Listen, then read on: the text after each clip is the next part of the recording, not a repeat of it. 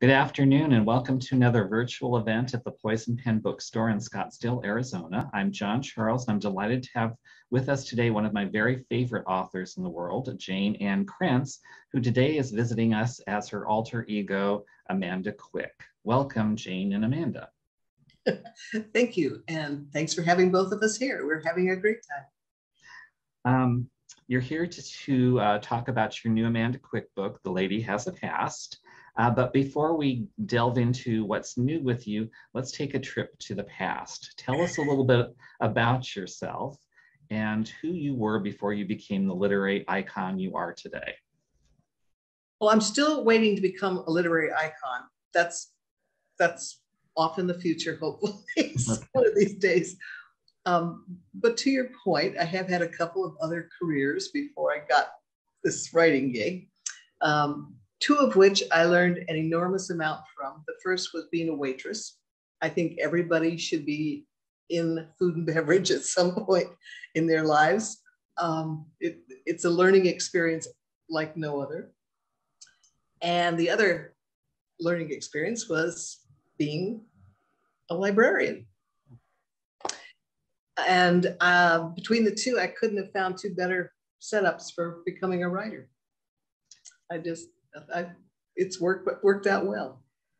Um, is the waitress because it introduced you to so many different people? It gave you kind of a a view at.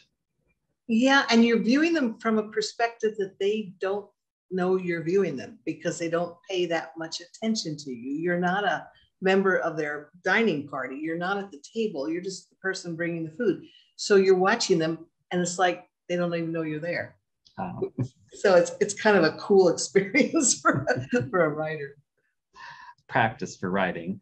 Um, and librarianship because it taught you about research or what did that in, in one sense that was the, the single most important thing i learned was research and the difference between things like primary sources and secondary and tertiary sources i mean that everybody should have that lesson too, regardless. But for librarians, as you know, um, that's just part of the education that we get going in, and we never forget it. So it's been very useful to me in the writing, especially with especially with the historicals. Um, it's it's just it's given me a sense of what I can trust about the past and what I you know what I read about the past and what I shouldn't be trusting. So.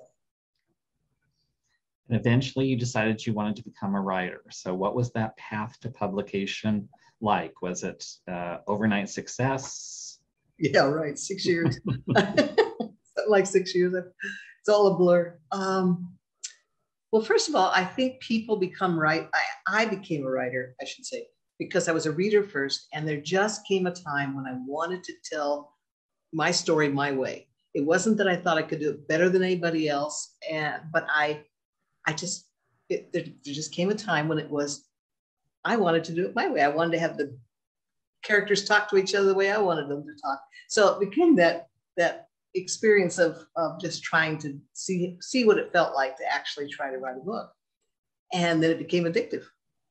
Uh, when I was working as a librarian, I was getting up at 3 34 o'clock in the morning and writing, you know, until it was time to leave for work. So it was an, an obsession that I couldn't quit. I don't know how many times I told myself I quit because it couldn't get published.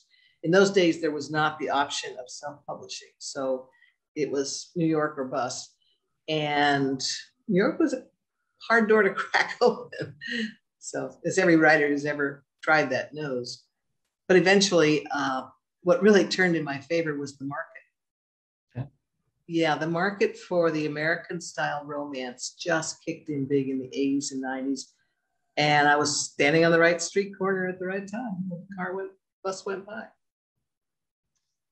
Now, when you were starting out as a writer, you adopted a lot of different pseudonyms. Was that by choice, by design, by talk to us about writing under different names? It's a real pain. Um, I do not recommend it especially these days with social media being such a demanding way, a time sink for writers. You do not want to be trying to promote two or three different names. Trust me on this, people, if you're out there thinking and writing. And no, the excuse that you're changing genres is not good enough. That's not a good enough reason to try different names. I wound up with multiple names, not because I wanted them, but because at the time I was getting started up in the business, it was not uncommon for publishers to um, hand you a contract that basically gave them exclusive use to your name as the author. So if you changed publishers, and at the time there were a dozen publishers, there were plenty of places to go, you couldn't take your name with you if you were dumb enough to sign the contract, which I did. And that is so it was more like the legal side of things. It was more like the contractual side of things that explains how I ended up with multiple names. But there were a couple of times when I changed them because I, I, I had sold so badly under one name that I, I didn't want that name anymore. It was too much baggage out there in the sales world. So um, that's how I got the Amanda Quick name. Oh. I had killed off my Jayne Ann Krentz career at the time. It looked better than a doornail, and no, but no publisher would touch Krentz. And the reason it got killed, I killed it off, was because uh, of the futuristics. I, what I now write, I do write those under Jayne Castle now, and it's probably that is the one exception I would say that I should stick with. But um, then I fired up the Amanda Quick name so I could start fresh with no sales baggage. And the publisher at the house I had left decided that, well, if, if my new publisher could make me work, maybe they could too. And so, so they got back in the game again. And all of a sudden I had two names going and now a third. So that's, it's messy. Um, let's talk a little bit about your latest book, The Lady Has a Past. Can you tell readers, um, just kind of give them the elevator pitch? This is the fifth book, book in my Burning Cove series, which is set in, in California during the 1930s. And I would just like to specify now that, and I say this as a librarian, um, there are always two versions of history. One is the real version, which I think, interestingly enough, is always being rewritten or reassessed or re, reinterpreted. Ever, that's an ever changing picture of, of history. And then there is the mythic, iconic version of history. That tends to stay, be pretty immutable. And the iconic, mythic picture of Hollywood glam California during the golden age of the movies and the studios it really exists. That, that myth is as real as the history myth of, of, of the Depression and the Dust Bowl era. I think that often happens with history. The myth stands on one side, the history, history stands on the other, and they move together into the future. It's, it's just, um, it's just the way things are, I think. Anyhow, I'm going with the the mythic side. And I'm leaning on the aura of glamour and everybody coming who came west trying to reinvent themselves, um, the innovative things that were going on at the time, the fact that gangsters were having to move out of the old um, booze business, the into into more more another way to make money. They were moving into slot machines and, and casinos and things uh, after the after the booze became legal again. So they were, everybody was out there trying to reinvent themselves. And I have always done characters who are usually, are always in a process of trying to reinvent themselves because something's gone horribly wrong in their lives and they need to start over. So, so this kind of background, this entrepreneurial, uh, reinvent yourself um, background works very well in the Hollywood studio kind of of world where it was all make believe anyway, and in real life too. Oh, the story. yeah, okay. I forgot about the story. Um, this is for those who read the previous book, Close Up. This is the sister of the heroine in Close Up, and she has she comes from Hollywood, or not Hollywood Society, but San Francisco Society, and she wants to leave her frivolous past behind and find her true calling. And she's decided she's going to be a private investigator because that's her calling. three days into the job, her boss goes missing. Her boss is Raina Kirk, who other readers might remember as the private investigator of the only private investigator in Burning Cove, California. And she's the lover of Luther Pell, who owns the hottest nightclub in town. So Raina's gone missing, and Lear is the only one who can find her. So they head off to a Palm Springs style um, spa and hotel, and things take off from there. One of the things that was interesting, the reason I ended up in Palm Springs, a fake Palm Springs, a, a Palm Springs clone, if you will, was because I got very interested in the 30s fitness and beauty craze, which was a huge deal. And pe- people were joining gyms and, and fitness clubs the same way they do today. But the, the machines, the machines look like torture chambers. it was, it must have been awfully hard on the body. I, I, none of it looks healthy when you see it in hindsight. But um, it makes a great setting to find a body. Put it you that way. Have, you have a scene in your book with kind of the, those machines and how scary they can be. Yes, um, exactly. Now, you also created the character to kind of staff your resort, Edith Guppy. How did she come about? And I, when in the course of the research, I ran across a biography, some biographical information about Elizabeth Arden. That's it, yeah. And talk about a marketing guru ahead of her time. I mean, she well, we all know the name. That says it right there. And we know it because of her, not because some man took over the firm and named it after her. She created Elizabeth Arden. She created the Red Door in New York, which almost every woman in the 30s, 40s, 50s, 60s, even today, they would know what you mean when you say the Red Door. And she was an incredible marketing genius. You could not open up a newspaper or a magazine in the 20s, 30s, 40s, and later, really, probably, but for sure in the 30s, you could not open a newspaper or magazine and not come across an ad for Elizabeth Arden Cosmetics. Uh, she was just just an amazing, an amazing CEO. So I kind of borrowed some of that for my for my character of Edith Guppy.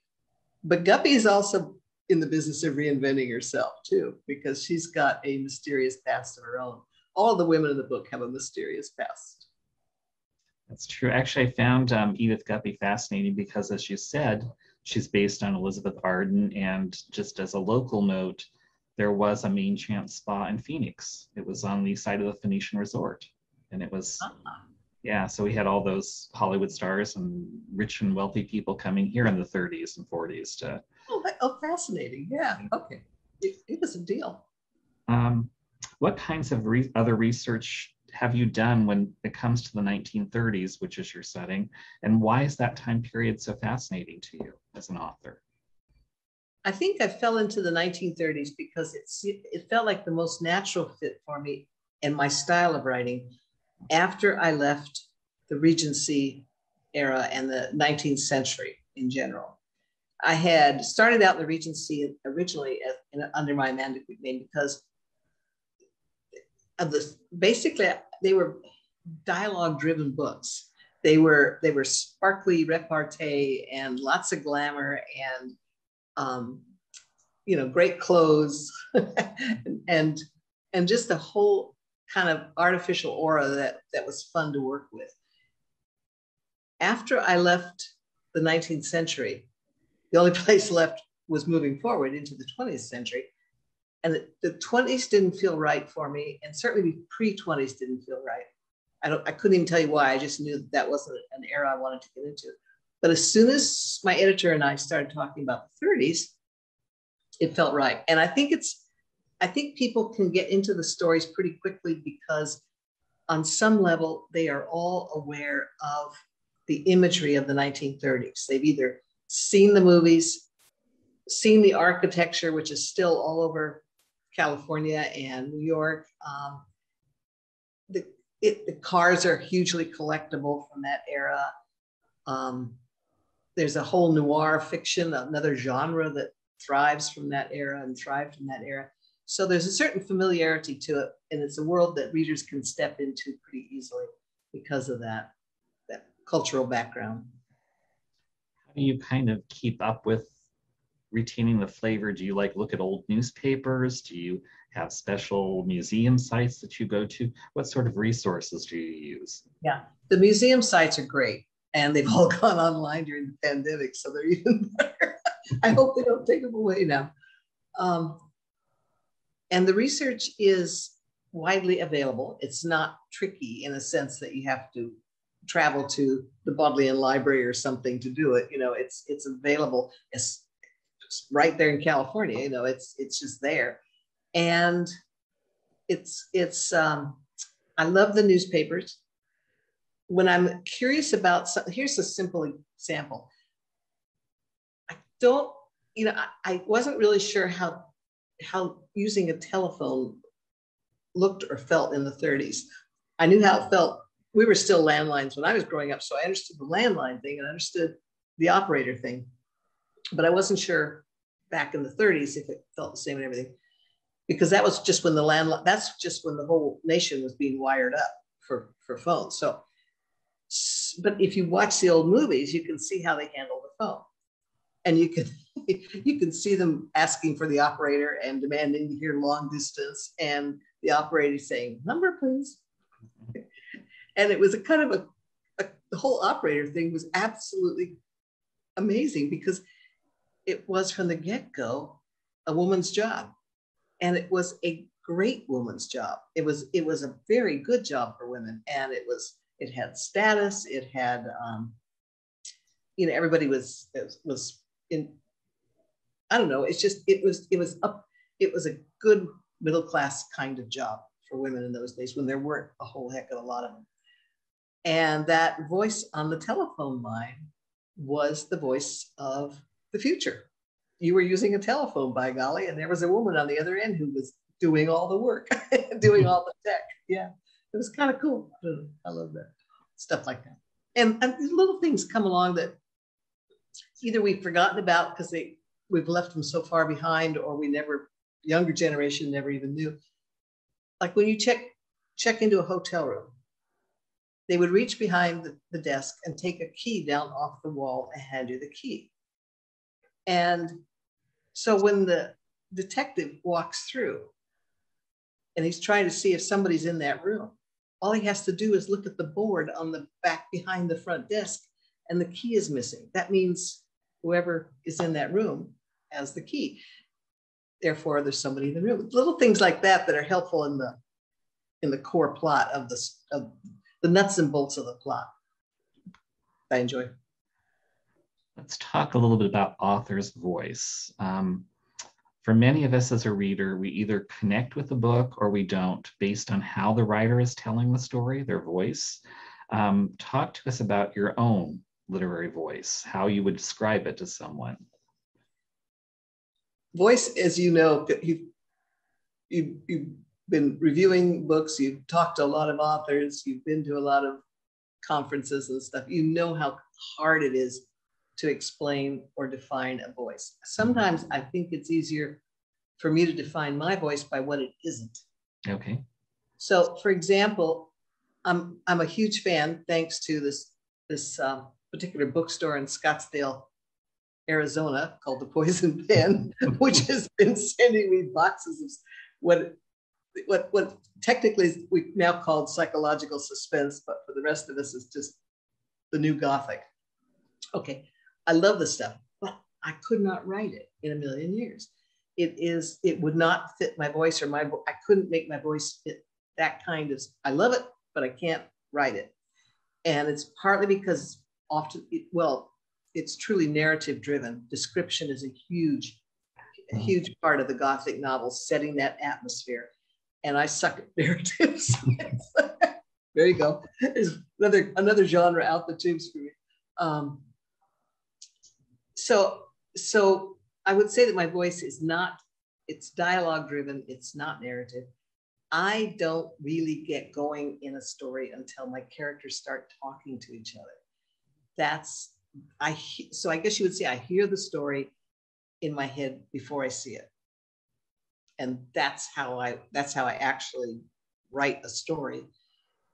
I tend to write light because I don't have a, a voice that fits the darker atmospheric stories. Um, and it's, there's too much humor in the books. It wouldn't, it would, it would jar the reader out of the story if I were trying to inject that into a, a dark atmospheric story, but humor would ruin it. So I have a, a voice that is optimistic. I basically that just reflects me. I'm fundamentally pretty, some would say to, to a to a fault. um, I have a voice that is truly at home in, in popular culture in the sense that I love the old archetypes. I love, um, you know, concepts of honor matter in popular fiction.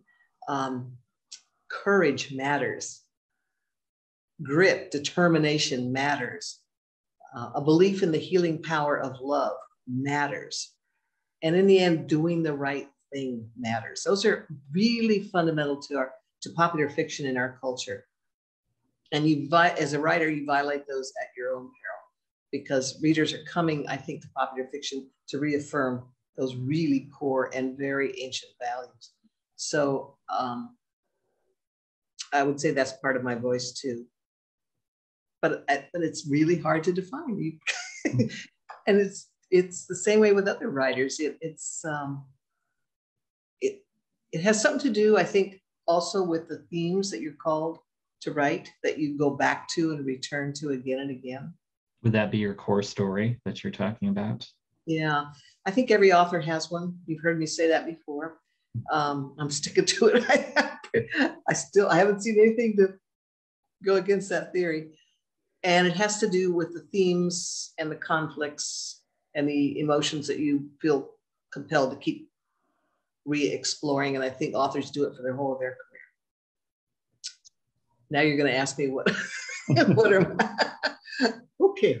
Yeah, um, you got it. the themes I that's easier for me actually to explain because I, I, I can see them fairly clearly in my writing. My books always explore the risks of trust, primarily trusting other people, which I think is the biggest risk we all take, and we all take it every day of our lives to some extent. And there's a huge risk factor involved in that. So I, I play off that one way or another. And in addition to the um, to the core story, my characters, as I mentioned earlier, are always in the process of reinventing themselves and opening a new door in their lives, finding their way. And that's certainly true in this book, where everybody is looking for a new path forward. Um, you've talked about core stories and voice. Um, let's talk a little bit about literary critics and popular fiction. And you've been known to say that you think sometimes some literary critics miss the boat when it comes to popular fiction. Can you elaborate a little bit on that? I think the key to reviewing popular fiction, and you're a perfect example because you do it right, at least in my opinion. no, you do it right because you have a fundamental understanding of the genre that you're reviewing and critiquing, and you have a sense of what works and what doesn't work, and you respond to it yourself. If, so I think that's the, the, the, the most important thing for a critic to have is a is an intuitive to, to resonate somewhat with with the genre. I don't think you can really critique it without that. I think you can critique other things without res, you know without a personal response to them. But when it comes to popular fiction, it's probably best to stay in your own lane. It's probably best to you understand intuitively the conventions of that genre. You understand um, what works and what doesn't, what readers really want. And most of all, you understand why it works. And that's the key to being able to critique that genre. Otherwise, it, it just, it, all you see is the surface and you miss it. You miss everything underneath. You've been quoted as saying you have a compulsion to write. That's why you're a writer. Um, what is your process like? I'm especially interested because you do these kind of mystery suspense elements to your stories. And usually with that, you have to kind of know who did it, how it was done, all that. Do you know in advance? Is it more of a write as you go? Talk about the process of writing for you. Sadly, I am not a good plotter. So um, I even if I try to outline a plot ahead of time, it all goes out the window by chapter three. It just it just does. I've tried it. Believe me, I've tried it. It would be really nice to get up every morning and know exactly where I'm going in the book that day, but that that's just gone until I get to the very end, and I do know where I'm going. I and the reason I'm I'm a pantser, as we say in the business. I write by the seat of my pants. And the reason I write that way, I think it's just fundamentally because if I do it the other way, I get bored with the story. I have already told the story to myself. And I I write these books first for myself. I'm telling the story to me and hoping like heck that that readers can join me in the fantasy. Um, I don't think that's uncommon. I think a lot of writers do it that way. It's you know if a book is working for you and that's really all you can know. And that is your gut telling you it, this is the story I want to hear right now or tell myself right now. And if it if you're not hearing that feeling, you're probably going down a wrong path in the books. So so the basic process is I'm a I'm mostly a um, morning person. That's that's just that fundamental morning person. So it's coffee in the mornings and writing until um, till around noon or so, and then research and figuring out where I am going to go next or trying to figure out where I'm going to go next in the in the afternoons. That's that on a practical basis. But that varies too, because at the end of a book where you do know you where you're going, there's just this kind of mad, mad rush to get it all down while it's still while you can finally see the what what for me it's a mad rush to get down because I can finally see the whole book. I can finally see the whole story and I have the vision of the story. So that's the best time for me. Uh, the Lady Has a Past is part of your Burning Cove series. As an author, what are the advantages to writing books that have a connection, whether it's setting or characters? And are there any disadvantages, at least for you? I learned early on that I was never going to be able to sustain a series with two continuing main characters as the co stars, so to speak, going forward indefinitely. I always like the man woman team of sleuths, but I need a new set, a new, a new couple with each book. And the problem is that by the end of the first book, I have solved all their problems. I have left them in a good place. And I don't want to have to go back two, three, four, five, 20 books later and come up with new problems for them. It just, I'd rather start fresh with a new couple and, and a fresh set of problems. So it's it's not it's not a way I've been able to build a career. But the fallback is create a town and then bring people into the town. And that's what I've done with Burning Cove. That works. Or, or a group like um, the Arcane Society, which is a, um, a, a, a, group of people that, that all have an interest in the psychic vibe thing and that's I write those under my Jayne Ann Krentz names and under occasionally under Amanda Quick names too. And I, my editor pointed out the other day that what I've really done is created a Jayne verse, Jayne universe. Um, and and it's a universe in which I'm got main characters going or or main stories, contemporary stories going in one corner, futuristic stories going in another corner, and now the historical stories going in the third corner, and at times they overlap a bit. Things from one world influence the other, and, or artifacts show up from one book to another. But you don't need to know that to enjoy the stories because every book I write now stands alone. Mostly because I can't figure out how to do the continuing characters. So there you are.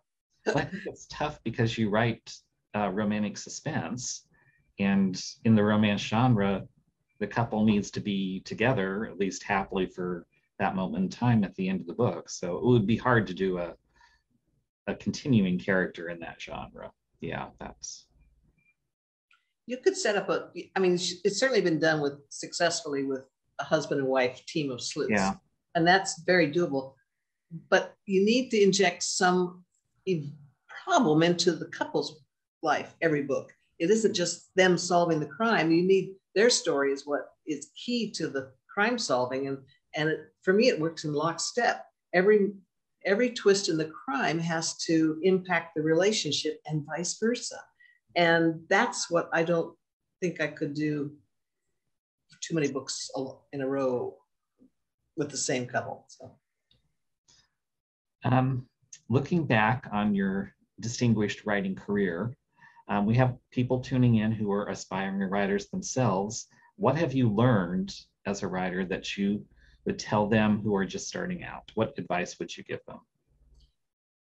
Find a group of writers who are doing what you're doing. Find your tribe, find your people, find, um, figure out where where you can meet up with other people who share your passion for writing. And if you're looking, and the best way to do that, I think, is with a good, solid writers organization. There are a lot of them out there and a lot of them have gone online during the pandemic so you can now join them you don't have to live in the same town as the organization which is very useful and if you're looking for those kinds of groups one of the best places to do is contact your local library they'll know who's working local and they'll be able to connect you if there's people if there's groups working nationally that would suit you so check the library and find a writer's group because you're going to learn more in six months that way about the business and the craft than I did in years working working alone without any outside connections into that world. I've often found that many authors are also readers. That's a big part of why they become authors. So I'd like to have you talk to us a little bit about what have you been reading recently that you have enjoyed and want to share with other readers. Well, I mentioned earlier that thanks to you turning me on to it, I have really become fascinated with this um, new new version of the Gothic, uh, which is how I think of it, this psychological suspense. It's it's just a reinvention of a fabulous genre that we haven't seen for a while. I, I, I say that actually, it's been going pretty hot now for what a couple of years. Mm-hmm. Yeah, I think I'm just coming late to it, so I didn't realize how how much it was how much it was growing. But um, a good starter book in the, in the sense that it, it's a very well done uh, version of it, and it feels right. It feels modern. It feels feels like the right reinvention of the book.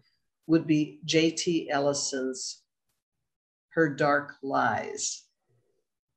And JT Ellison has a real gift for the kind of atmosphere and the kind of action that make the atmosphere was always in the in the gothic novel, but the modern version has a lot more action and more more suspense in the sense of modern suspense.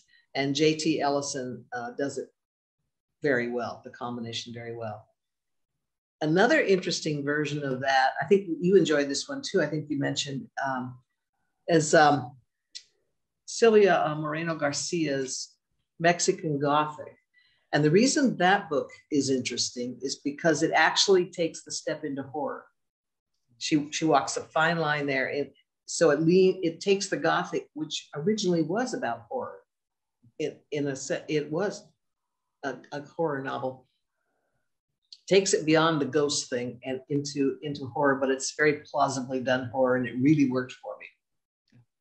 So that would be that would be if you're interested in this new kind of gothic i think those are two starting points. But thanks to my recent shipment from Poisoned Pen and i haven't read these yet but i'm looking at the girls are all so nice here by yeah. Laurie elizabeth flynn mm-hmm. and jennifer mcmahon's the drowning kind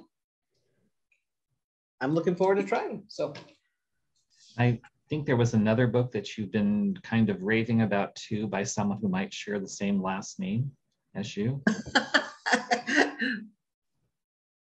uh, this is this is the PSA public service announcement for my uh, my my husband's cousin, actually, Mike J. Krentz, who is writing medical thrillers. And his latest is Dead Already.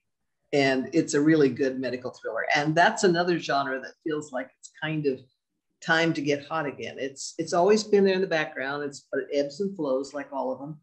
And right now it feels like it's been out of the out of the mainstream for a while, but starting to the time has come to fire it back up. So especially with all the concern about the pandemic and health and things like that, yeah, it could be very uh, timely. Hope hope so for him. um, now let's talk a little bit about the future and what's coming up. Uh, rumor has it that we may see some dust bunnies. the dust bunnies. This, this is, I keep saying this is going to be on my tombstone. she wrote the dust bunny books. other, other people will have cat books or dog books, but I'm going to be the dust bunny books. Um, yes, and those are the books I am writing under my Jayne Castle name, the Futuristics.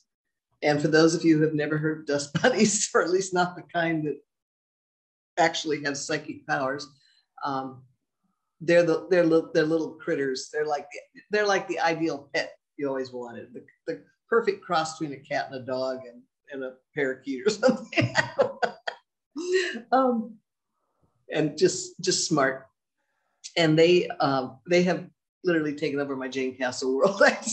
Nobody reads my books anymore for my my brilliant plots or my my in-depth characterizations or my clever my clever science fiction landscape. It's just more dust bunnies. Give me the dust bunnies and forget forget the hero and heroine. it, but to answer your question, the book is called Guild Boss, and it comes out in November. November.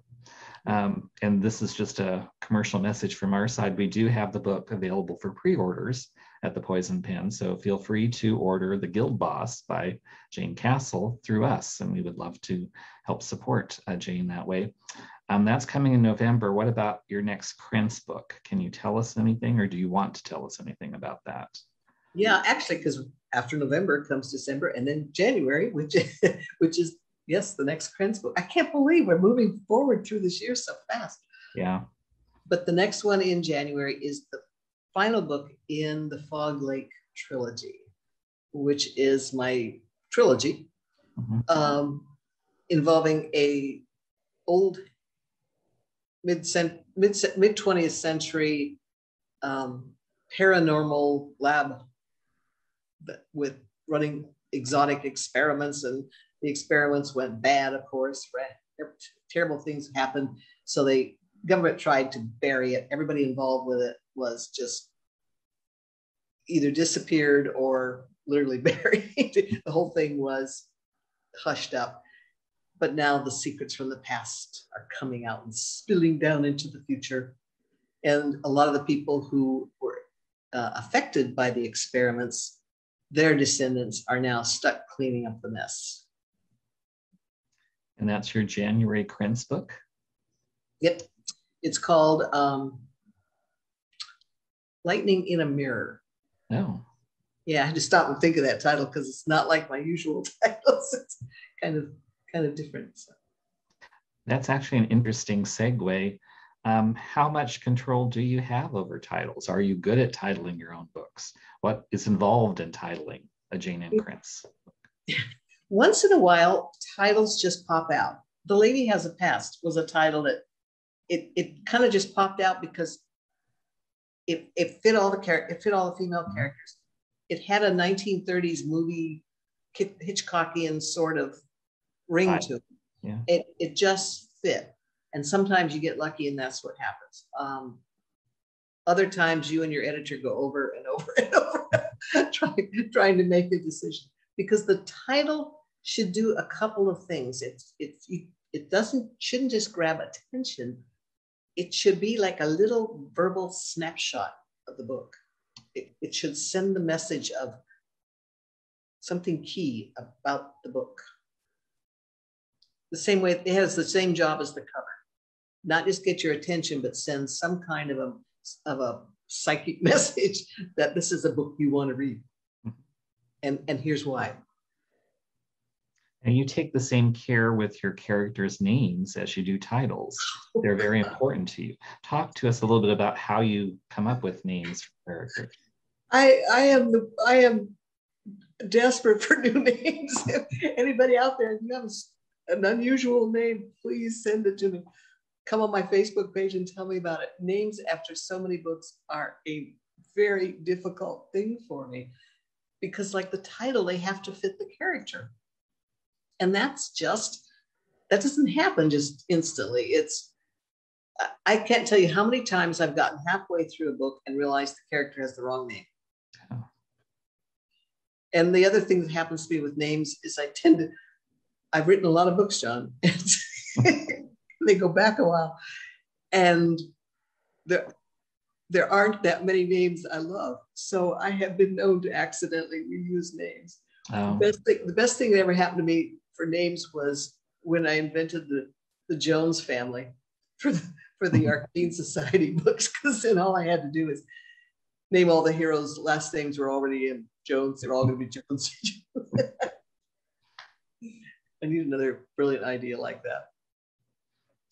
Now, I have a question because it fascinated me when I discovered this. I know people have been doing a lot of different things during the pandemic to cope with um, the stress and things like that. And I discovered you have a new passion in the form of boxing.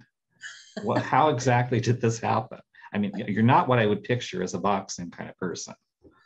Well, unfortunately, the boxing thing did not last. It was fun while it lasted, but I, I discovered it while on a cruise with my husband, and it was one of the um, things. You know, off. It was one of the offerings from the spa, from the from the fitness side of the of the ship, and there was an opportunity to book X number of one-on-one classes for boxing, and I just thought it sounded like something. You know, you just give it a whirl and I loved it. it was just like somehow when I put those big gloves on and I could hit anything I wanted as hard as I wanted, and it didn't hurt my hand, and nobody was getting hurt. I wasn't hitting like a person. I could just, I don't know, it was like this great release. I, I highly recommend it. Um, but when I got back to Seattle, I wasn't able to continue with it. So, so sadly, it was it was limited to a a, a cruise, but I highly recommend giving it a shot. It's it's um it's just it was exhilarating to tell you the truth. It was it was violence without a real threat. It was it was letting go. It, I think what it did is it made me realize how as human beings we are always on some level in control. We're always maintaining control. That's part of who we what we are and we're always shocked by people who lose control. That's always a very unpleasant experience all the way around, and everybody is horrified usually. But the boxing is a way of doing it without risk, without any bad feedback. And so after a while, just kind of feels good. That's all I can tell you. Um, we do have some questions from your Facebook fans. So the first one is if you could meet any author, dead or alive, who would you choose? Nancy Drew, but she's not an author, so I guess that doesn't count. She was my formative, my formative reading material. Um, I would like to have known, but she was gone, been gone a long time. Um, I, I would like to have met uh, Anne McCaffrey because it was her book Restoree that I discovered it back in when I was a teenager that opened the possibilities of writing my story to me. Now she didn't write any that was it was a futuristic romance that futuristic romantic suspense that you would easily identify it today. But at the time, she had to be the only one doing it. She had to, and it, and she got out of it real fast. So I'm sure it didn't work well for her. And then she moved on to Dragons, which was a, a smart career move. But Restoree probably did was the one book that got me into thinking about writing my own book because I wanted more like that. So Anne McCaffrey, rest in peace. Um, I wish we'd met. But thank you for the reading. Uh, do you write? Well, I think we've covered this, but you can address it again. Do you write an outline? I think you said that you. No, it's, I, I, I was, I, when I start a book, I usually know where I'm going for the first three chapters. And then I use those first three chapters to figure out my characters. That's where I learn where the characters, who they are, and that makes it possible to keep moving forward. But it's a very lurchy, a lurching along kind of process. Um, this one I think you've also talked about, but you can readdress a little bit perhaps. Did you know a lot about the 1930s as a historical setting before you started writing these books? Was that a particular interest of yours? No, it wasn't. Um, but I had seen a lot of the movies. Huh. And so I had an image. And that's also how I knew that was the, the mythic side of the 30s that I wanted to pursue it, when I started writing it. And my image of the 30s from the movies is that repartee, that snappy dialogue, that fast, just clever writing and, and storytelling and lots of action and great clothes great cars. what drew me to the 30s was very similar to what drew me to the uh, the Regency. The glamour, the length, the and the dialogue, the the, the right the With. conversational repartee. Um, is there any chance that at some point in time you might write your own cookbook featuring your recipes? no, because I'll tell you why. I occasionally I post a recipe or try to post a recipe on my Facebook page because somebody will say, could, could we have the recipe for whatever? Um, and the answer is it's really hard to write recipes. Oh my gosh. It's like, is it a quarter teaspoon or a half teaspoon? Is it a, it's because I don't cook that way. I don't cook. That's, it, I just kind of throw things together. And when I sit down and try to do it, it's very difficult writing. And then I think, what if I screw this up and somebody puts a tablespoon of salt instead of a teaspoon of salt, you know, that kind of thing. So, um, so sadly, I don't think cookbooks are in my future. Maybe if the bottom falls out of the futuristics. um, next, next question, I have my suspicions about who sent it in, but the question is, Rumor has it you have said that Susan Elizabeth Phillips' next book, coming in June, When Stars Collide, is the best thing you've ever read. You, you think maybe we can take a wild guess about who said that question in? Well, it's a really interesting question because, like, the book is not out yet, so I could. However, when Stars Collide comes out, I will definitely be reading it. And I will be definitely saying it's the best book I ever read today.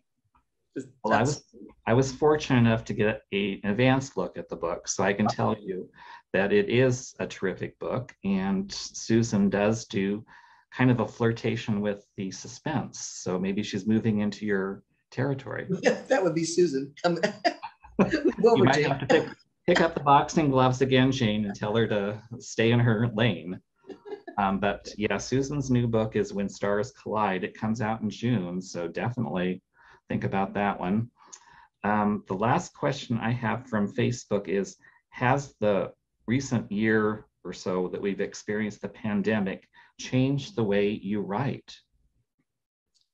I think it's probably done more to push my writing all over the, the day. Uh, you know, I, I used to be everything I did creatively was in the mornings and then in the afternoons I would go to Nordstrom, go go grocery shopping, take a walk, I, you know, things like that. But when the afternoon suddenly closed down, um, the writing seemed to expand to fill the day available.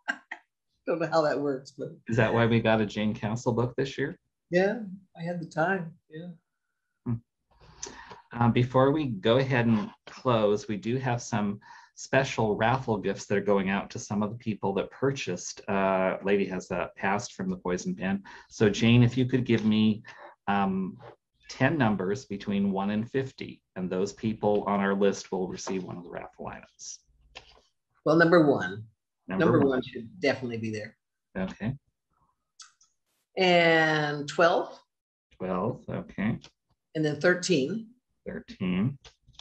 and 17, 17, 20, 20, 30, 30. 33. Okay. How long, how many more have I got? You've got two more.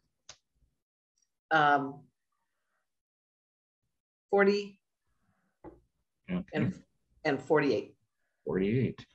So those um, people who purchase books with those numbers on our list will get something additional, probably by separate mail, because we haven't figured out how to package them um, with the books. Um, but before I uh, extend my thanks to Jayne, I do want to say we do have a very small number left of signed copies of Lady Has a Past. So if you're interested in a signed copy by uh, Jayne writing as Amanda, contact the Poisoned Pen ASAP because they are going fast. Um, and with that commercial message aside, I want to thank Jayne and her alter ego, Amanda, for joining us today, for writing such terrific books, and for always being such a strong supporter of the book world. Thank you, Jayne. Thank you for having me. This is always a pleasure.